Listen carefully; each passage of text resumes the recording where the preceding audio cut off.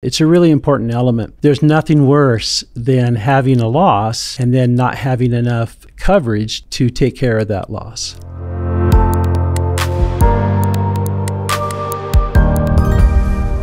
So, Dennis, you are the CEO of Mountain America Insurance Services.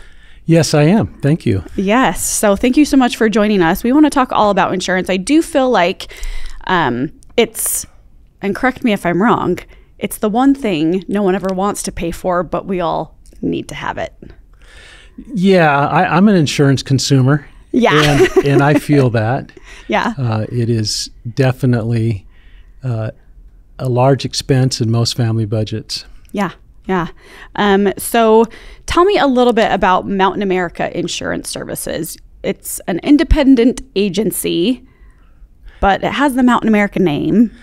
That's correct. I'm confused. Mountain America Credit Union is uh, a principal owner of Mountain America Insurance Services. Okay. And um, me and my team, we operate it on behalf of Mountain America. Okay. Uh, so we're we are equity partners and have the same goal of serving members. Okay, love that, love that. So, um, tell me a little bit more about how this organization works. Is it similar to going to a progressive or a Geico, you know, some of those mm-hmm. household names that offer insurance um, to get a quote, or, or how does that work? Yeah, it's good that you brought up those two. They're very good examples. They're direct to consumer marketers. Okay. They're product manufacturers, so they're delivering their product directly to consumers. The difference between Geico and Progressive, however, is Progressive also distributes their product, their insurance products, through independent insurance agencies. Okay. And uh, they're they're on a par with other brand names that folks may recognize: the Hartford, Travelers, Liberty Mutual, yeah. Safeco, Allstate, Nationwide.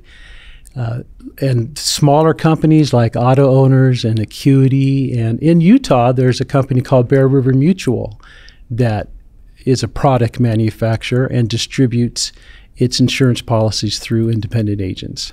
Okay so lots of different examples. Yes. I love that. So is mountain america similar to that or mountain america insurance services or how does yeah. that work? Mountain america insurance services is an agent of all of those uh, names that I just mentioned, with the exception of Geico.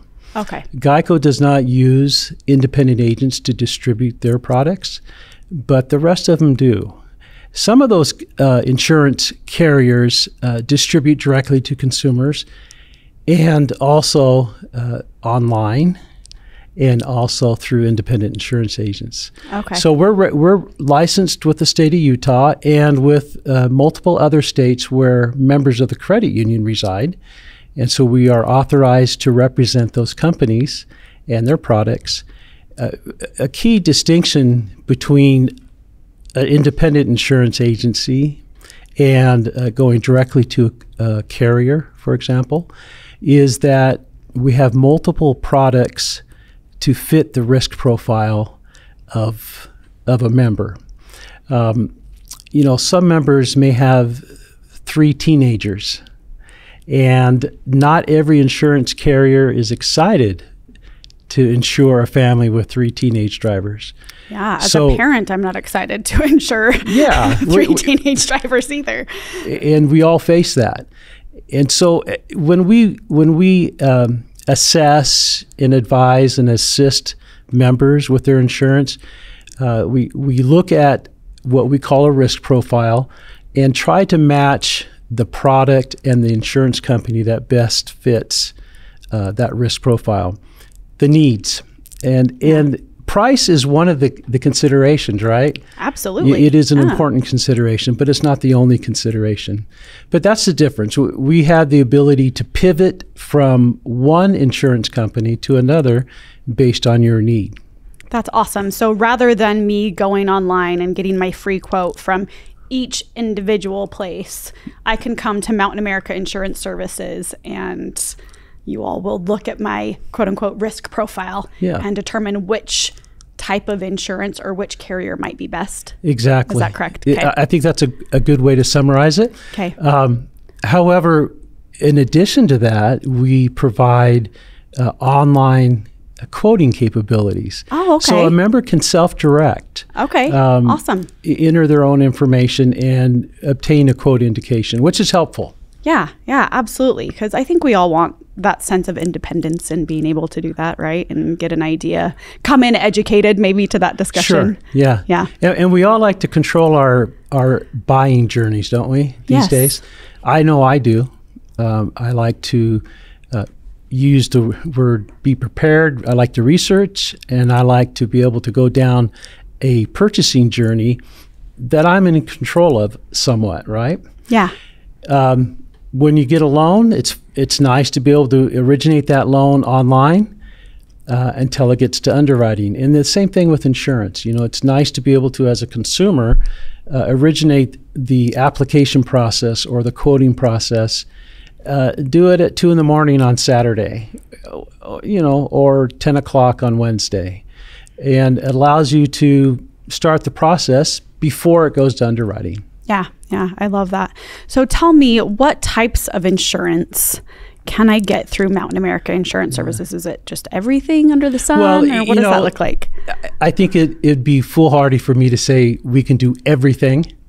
Uh, we can do hole in one insurance if you want to sponsor a golf event, but it's not what we focus on. Fair Uh, enough. we focus on personal insurance and business insurance in the world of property and casualty. Okay. We provide term life insurance, uh, working with Mountain America Credit Union's uh, advisors, but our focus is property and casualty insurance, and that means uh, the property coverage and liability coverage families need on their homes, their autos, their recreation toys, Okay. um, and for businesses, for workers' compensation and the building that they own or the building that they're leasing, the inventory and other property, and then the liability that business owners uh, assume. Th- There's risk in doing business. You own a, a store or a restaurant, or you have uh, you know commercial trucks running around you're bearing the risk of injuring other people or damaging other people's property and that's what the casualty part of property and casualty uh, is, is all about Okay, interesting. So tell me, do I have to be a member of Mountain America Credit Union in order to reach out to Mountain America Insurance Services or receive a quote or annual re- review? yeah that's a great question uh, our focus is uh, the the world of Mountain America Credit Union. So within that environment, and and all million plus members uh, are uh, folks that we want to serve, and that we focus on that within the Mountain America brand. However, uh, we are an insurance agency uh, licensed by the state of Utah and other states, and the Department of Insurance regulates our activities, and we will provide insurance to anybody that we can serve. But again, our focus is is the membership of Mountain America Credit Union. Okay, but for anyone listening to this right now that may not be a Mountain America member, first of all, you should be, but um, we would love to help you. but at the same time, they can receive service from Mountain America Insurance yes, and, and Mountain okay? America Insurance Services has uh, many customers or clients that are not members yet Okay. of Mountain America Credit Union. Okay. Okay. Fair enough. That's really interesting to know for sure. Um, so, one thing that I've heard about that I want to get your clarification on, because Dennis, we know you're the expert here property insurance to value. Yeah, that's a fancy phrase. Look at you. Yeah, I mean, look at me. I, you know, I may or may not have just, you know, come across this term through some conversations, but with Yeah. property values fluctuating as much as they have recently, why is this property insurance to value something that consumers need to be aware of? Yeah, it, it's become a, a really important issue over the past couple of years. Okay. Um, during the pandemic and post pandemic, uh, the, pr- the valuations of homes in certain market service areas have skyrocketed. Yeah. And um, lately, not necessarily precipitously dropped, but they have dropped home values have dropped. The values of uh, commercial properties have dropped. And so there is a lot of fluctuation. I like the way you cast that. Um, insurance to value is important in any kind of marketplace. Okay. Um, really, what it is is I'm going to buy property insurance on my property sufficient to cover my losses. So if if my house burns down, I want the insurance that that coverage that I purchased to be sufficient to replace the home. And so uh, the important element here is understanding replacement cost versus market value versus assessed value. So market value, as we know, is the amount someone's willing to pay. Right. Okay, and and as the market values increase, uh, sellers are excited because more and more buyers are willing to pay an increasingly higher cost, or they have to because of competition. Assessed value is t- for taxes, and you may or may not like the assessed value. Right. In fact, you like a high market value on your home, but you don't really like a high assessed value uh, because that increases your taxes. So the replacement cost is separate from those. Okay. So replacement cost could be higher than assessed value, and it could be higher than market value, or it could be lower than either either of those. So the insurance to value consideration uh, comes up when well, my house I've lost equity in the marketplace. Do I really need to insure it as much as I, that I am insuring it for now. Let's just use an easy example. Let's say I, I want to insure my home for hundred thousand dollars because the market value is hundred thousand dollars. Um, this is not a realistic amount, obviously. Right, But, yeah. But it's easy for the example.